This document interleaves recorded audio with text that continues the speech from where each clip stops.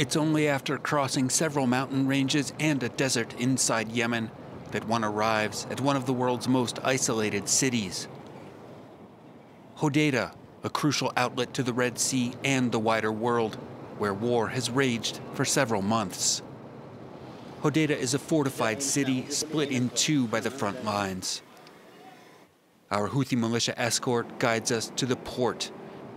This is where the majority of Yemen's food and humanitarian aid would be coming in were it not for the war. The area is strategically crucial. In spite of an official ceasefire, fighting continues. The Houthis are nervous. What's going on here? Who gave them authorization to enter? If they stay, you're taking responsibility, okay? In fact, we're soon met by a leader of the rebellion. You see, this port is the most vital location in Yemen. It's also the most attacked and the most destroyed. And why? because the coalition uses it as a weapon to push its strategy. We, the Houthis, are responsible for the transport of more than 70% of Yemen's food. There are 20 million Yemenis depending on supplies that should be arriving on these docks, but that aren't.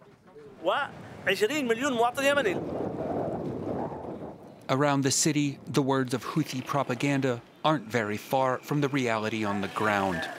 Looming famine, non-stop bombardment, and an international diplomacy struggling to put the brakes on civil war.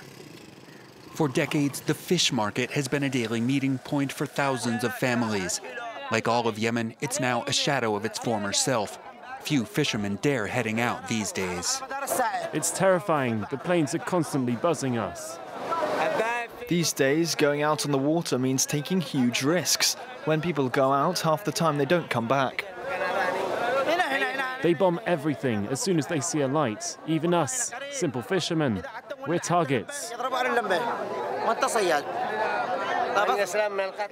Millions in the country are already hanging by a thread, while Hodeidah, lifeline of Yemen, is coming undone.